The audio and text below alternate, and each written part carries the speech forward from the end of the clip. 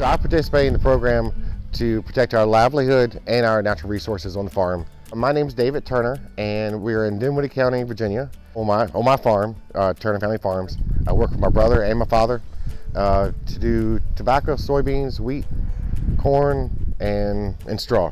We have had this farm since 1960. We've gone from 18 acres up to 2,800 acres in the course of 64 years.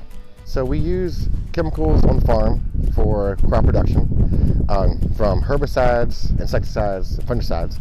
And then after we get finished, we triple rinse them, collect everything, and we'll take them to the landfill and they get out of our, our hair. It's a waste on the, on the farm. It's a good place to take our, our bottles and is also the correct way to dispose of the bottles. So it's, it makes it easier on our farm. Mike Parrish at the extension for Dinwiddie uh, came to us and explained the process and the pesticide bottle collection is right down our, our avenue.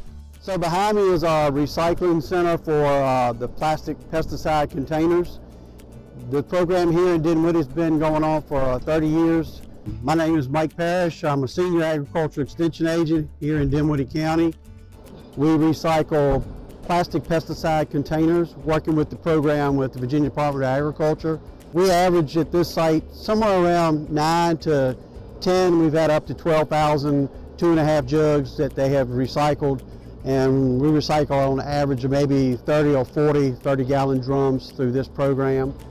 So if you're interested in, in recycling your plastic containers, you can contact VDACS or go to their website to get more details, or you can contact your local extension office once the containers are collected, the plastic is processed into recycled resin, which can be used to manufacture numerous items, including utility conduit, pallets, and landscape edging. Since the program began in 1993, VDACS, in partnership with the agricultural community, has recycled more than 2.4 million pounds of plastic pesticide containers.